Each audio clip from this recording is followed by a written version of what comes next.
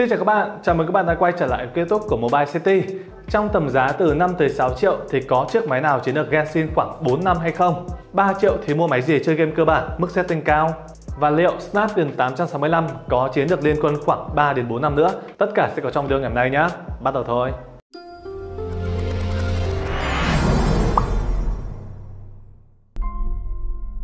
Mình đã chia rõ timeline của từng câu hỏi phía bên dưới Bạn nào muốn tiết kiệm thời gian xem nhanh ấy, kích vào nha Chúng ta sẽ đến với câu hỏi đầu tiên của bạn Nhạc phim anime. Có con nào chơi Genshin 3 đến 4 năm tầm giá 5-6 triệu không ạ? Mong anh ghép.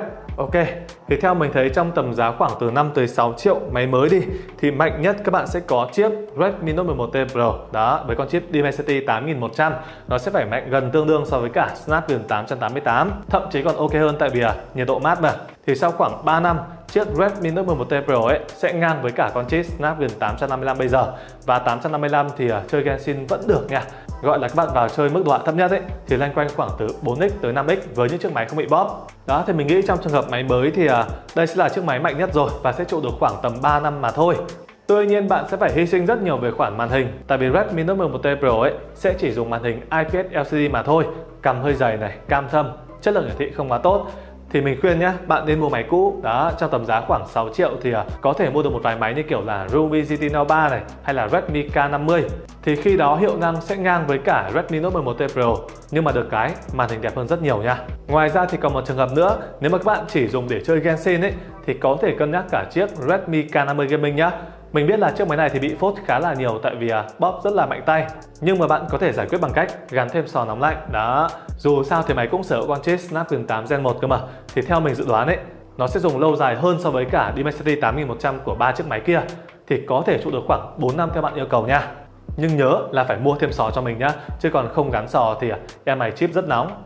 Chơi Genshin một lúc thôi, các bạn sẽ bị giảm FPS rất là nghiêm trọng nha. Lưu ý. Chuyển sang câu hỏi thứ hai của bạn. Casly 3 triệu thì có máy nào chơi game cơ bản setting cao được không ạ? Thầy còn tùy xem game cơ bản với bạn là những game gì nha. Nếu là liên quân với cả Five hay là tốc chiến ấy thì 3 triệu bạn mua máy mới cũng được. Sẽ có chiếc Poco M5 với con chip Helio G99 ấy, bọn mình từng test rồi. Chơi liên quân Free Fire đồ họa cao luôn nha. FPS tương đối ổn định. Đó, 60 FPS không bị giật nhiều.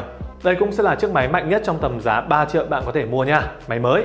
Tuy nhiên nếu game cơ bản của bạn là COD hay là PUBG, những game tầm trung ấy thì à, bạn sẽ phải mua máy cũ nha. Tầm 3 triệu thì sẽ mua được một vài máy như kiểu là LG V50s này, Galaxy A95G. Đều sẽ là con chip Snapdragon 855, chơi game rất ok luôn. Quẩy PUBG với cả COD ngon lành, 60 FPS, đồ họa tầm trung. Nhưng mà lưu ý, với chiếc Galaxy A95G ấy thì công nhận là có mạnh hơn một chút so với cả V50. Rồi thì pin cũng sẽ là 4.500, trâu hơn, rất là ổn áp.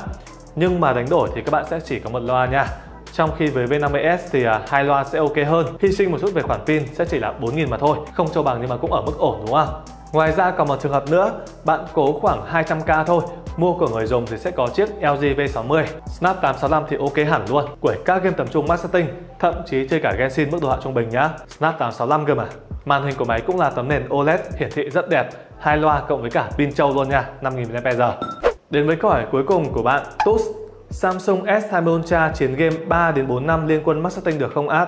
Trong tầm 7 triệu có điện thoại nào chiến game ngon, màn đẹp, mặt lưng kính không ạ? Ok, thì Galaxy S20 Ultra sử dụng con chip Snapdragon 865 nha.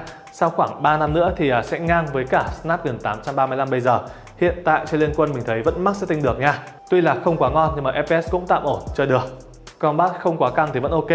Nhưng mà sang năm thứ tư thì à, hơi khó nha. Sang năm thứ tư thì à, chắc là phải hạ đồ họa xuống thấp hơn một chút. Trong tầm giá 7 triệu muốn chiến game cộng với cả lưng kính ấy, thì mình thấy có chiếc Redmi K50e e cũ khá là ngon nha, loanh quanh khoảng 6 triệu rưỡi thôi. Các bạn sẽ có con chip Dimensity 8200 đó, mạnh hơn Snap 865 rất nhiều luôn. Nó mạnh hơn Dimensity 8100 khoảng 20% cơ mà. Hiện tại kể cả Genshin Impact các bạn quẩy Mustang vẫn được, chứ đừng nói là liên quân nhá. Thì sau khoảng 3-4 năm thì vô tư quẩy thoải mái. Nó sẽ phải mạnh tương đương, thậm chí là hơn cả Snapdragon 888 cơ mà thì tức là sau khoảng 3 năm nữa ấy, cũng sẽ ngang với cả con chip Snapdragon 855 bây giờ rất ok đúng không quẩy liên quân vô tư sang năm thứ tư thì ngang với cả Snap 845 vẫn ngon lành rồi, vậy thì các bạn thấy sao về câu trả lời của mình? Có đồng ý hay không? Cũng như còn bất kỳ thắc mắc nào, hãy để lại comment phía bên dưới nha. Link mua các máy xuất hiện trong video ngày hôm nay, mức giá rẻ nhất tại Mobile City. Mình sẽ để dưới phần mô tả cũng như bình luận game của video. Giờ xin chào, bye bye.